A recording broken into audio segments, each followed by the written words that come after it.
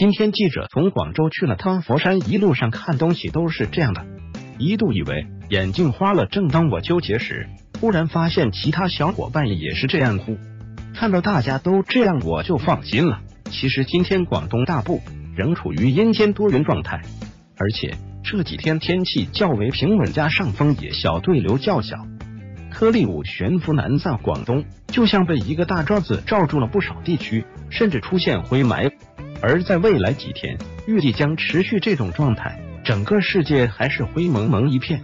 未来几天，全省大部分市县早晚有轻雾，中西部的部分市县有雾。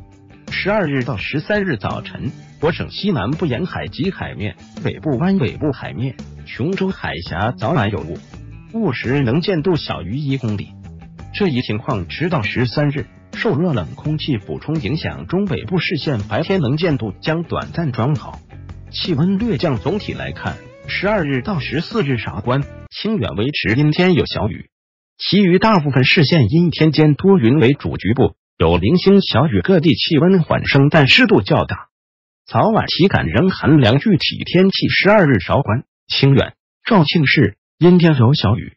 南部市县阴天间多云，其余市县阴天到多云，局部有零星小雨。早晚大部分市县有轻雾，部分市县有雾。韶关和清远两市的北部最低温度介于六摄氏度至九摄氏度，其中高海拔山区四摄氏度至六摄氏度，南部沿海市县十六摄氏度至十九摄氏度，雷州半岛南部二十摄氏度左右，其余市县十二摄氏度至十六摄氏度。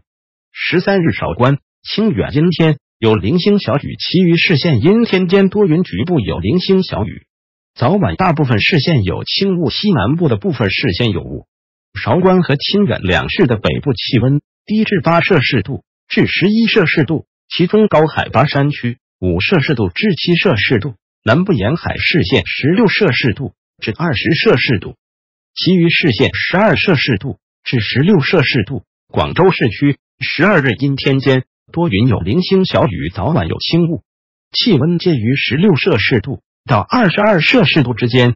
明日阴天，局部有零星小雨，早晚有轻雾，气温十五摄氏度至二十一摄氏度。记者张子君，摄影肖雄，校对杨远云，作者张子俊、肖雄。来源：南方报业传媒集团南方家客户端。